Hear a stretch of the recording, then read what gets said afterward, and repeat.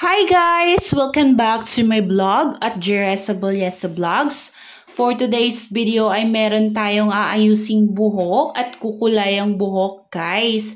So actually, ang history ng kanyang hair guys ay rebonded po siya at kinulayan din siya noon ng brown. So ayan, nakikita niyo yung parts na yan ay yan yung previous color niya at tumubo yung regrowth niya more about 14 centimeters. Yung gagawin, kukulayan natin siya ng mahogany brown. So, si Ma'am Maria de Los Santos Tolentino ay may pinakita siya sa atin na hair inspo. So, yan po yung natipuhan niya na susundin natin. Sana naman ma-achieve natin to, guys.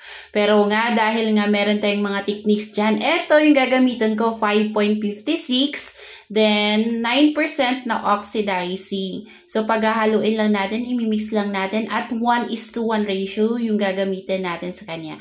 So, ayan na po, up After apply na po tayo ng colorant, all over her hair po yung in-apply natin. Nag-umpisa tayo ng apply dito sa kanyang nape bottom area. Up to her outer layer area. So, left and right.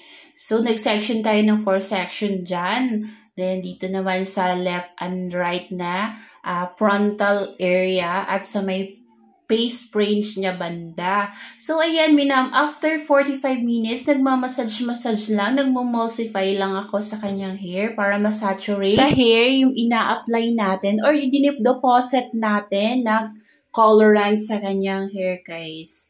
So, ito yung techniques ko, guys, para masaturate nga, sabi ko nga, at ma-penetrate doon sa kaloob-looban ng hair shop yung colorant na ina-apply natin. So, ganun din yung gagawin nyo, guys. So, kung nakikita nyo yung mga techniques na yan, pwede nyo rin sundin, guys, kagaya ng ginagawa ko. Disclaimer lang po ha, dapat yung gagawa nito may kaalaman, may knowledge, nag-training po siya. For professional use only, nakikita niyo sa mga product ng mga pang salon, may nakalagay dyan na for professional only. So, ayan guys, uh, after natin siya na i-massage, pwede na po tayo magbanlaw sa kanya. Actually guys, 1 is to 1 ratio yung ginamit natin sa kanya na measure. So, 1 is to 1. So, 1 is to 1 is isang oxidant, isang colorant. So, yung isang tube talaga ay inubos po natin yon at bali sa isang tube, naglalaman siya ng 100 ml. So, equivalent sa 100 ml na isang tube ng mahogany. So, 100 ml din na oxidizing cream yung minix natin sa kanya, guys. So, dapat pag naghahalo kayo ng colorant, haluin nyo talaga maigi. So, count kayo ng 5 minutes. Then, bago nyo i-apply sa hair ni client. So, mag-umpisa kayo sa uh, bottom area, pwede rin sa outer layer area. So, depende kung saan nyo gusto unless na talagang ma-achieve nyo yung gusto ni client. So, ayan na guys, papakita ko sa inyo yung naging outcome. Actually guys, naabutan kami ng brown out. Actually, isi-settings ko yan eh. Curl ko sana. Naumpisahan ko na sa frontal area. Yun nga lang, naabutan kami ng brown out. So, ganyan yung naging resulta. At alam nyo guys na almost 2 hours ko rin siya na ginawa yung kanyang hair. So, happy si client at na-achieve naman natin yung gusto niya na hair color. So, actually, masayang masaya rin si Maria dahil nakuha ko nga yung kanyang uh, gusto na color. Ayan o, kita nyo sa color. So, yan yung naging outcome ng kanyang hair. So, sayang, brand out. Maganda sana yung pagka-curl niyan kung hindi na brand out. Pero it's okay.